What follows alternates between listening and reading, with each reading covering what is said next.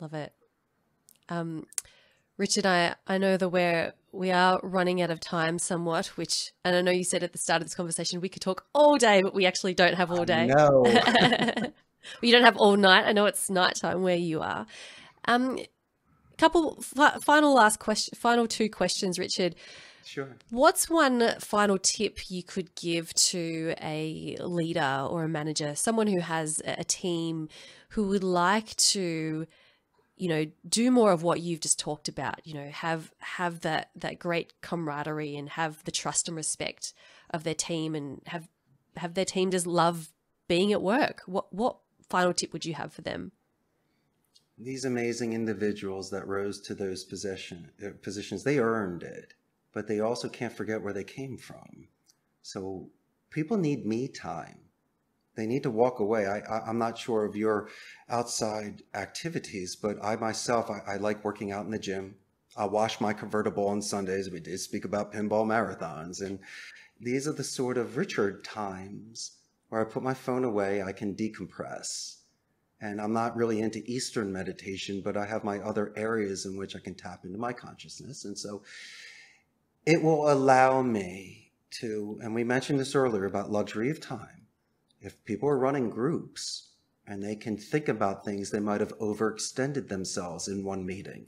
They might have not said enough. Or maybe what they should do once again is to allow every individual to give every single opinion out there.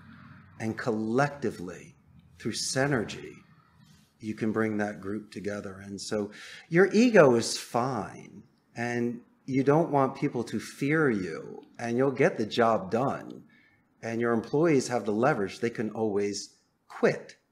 So i don't think cursing yelling and screaming does any good. But I, I, do believe that these individuals that work with you have families and children.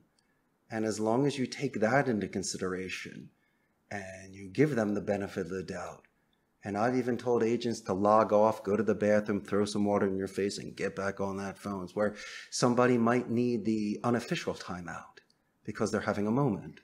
Mm. And so you, you have to do that. If you think people are robots, they will leave. And you don't need to go out drinking with them. That's their private time. And some people don't even like to drink.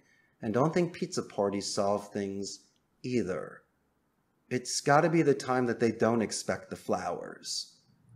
And sometimes okay. they even claim that the greatest gifts are not store bought cards, but the ones that you personally write. And how, how about this? I'm not going to say, Christina, you're doing a great job. You're my favorite. High five you. Now, last Tuesday, when you got on the phone with Mrs. Jones, I listened to that 33 minute conversation. Wow.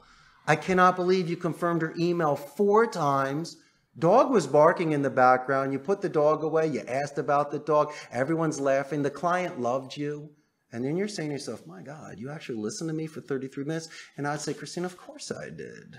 Because if you were in my shoes, you would have done the same. And so when you look at me, you go, you know, I'm not going anywhere.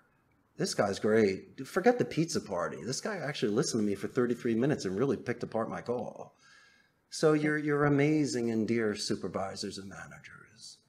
Show some authenticity. Just don't say good job, champ, and call them chief and ace. Really let them know.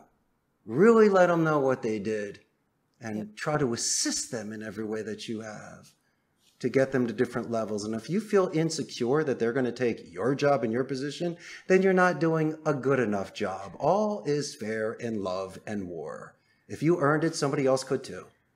And so just be the best you can be and try to bring other people up because who's to say that you're not going to get promoted and then these people are going to work with you and so um, don't be selfish everybody deserves their chance and if you're number one then you get that position if that and look how hard you and i work you make it look easy the c method look at this they should only know what you're doing behind the scenes and so I, I think if people are willing to take that sort of responsibility and the golden ring could be theirs. Love it. Love those final words, Richard. Um, look, I really appreciate you taking the time to join us on the show. I'm, I'm, I'm going to have to listen back to this conversation and take notes and unpack everything that you shared because there was a lot in there.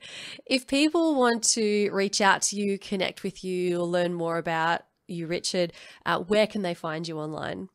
Well, they can buy a first class plane ticket and come visit me here, which would be wonderful. I'm all over the internet with my websites, and but I also have a Facebook fan page of about 103,000 people. And so when this goes live, you're going to have a lot of new fans. And it will also Ooh. give your audience a chance to see the business process outsourcing industry in Central America. Just real quick, we're north of Panama, south of Nicaragua. We're the only democratic society in Central America. There's no standing army, Christina. So there's a 95% literacy rate. We have the best infrastructure. They claim that Costa Rica has the most neutral English accent. We're known for medical tourism and especially ecotourism. So if you like surfing, which I know Australia does, we have waterfalls and monkeys and iguanas and butterflies and it's just a wonderful place to visit. I'm here, your friend. I got a thousand suggestions for you and your audience. And uh, Christina, I really can't thank you enough. I thoroughly enjoyed our time this evening. Oh, Costa Rica sounds absolutely wonderful, Richard. It's going to have to go on my list now of places to visit. It sounds wonderful. Um, thank you so much again. It's been such a pleasure.